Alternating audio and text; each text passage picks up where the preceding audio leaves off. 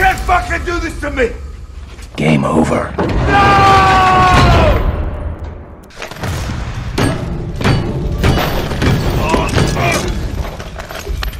What do you want from me? Detective Fisk confirms that Mark Hoffman is Jigsaw accomplice.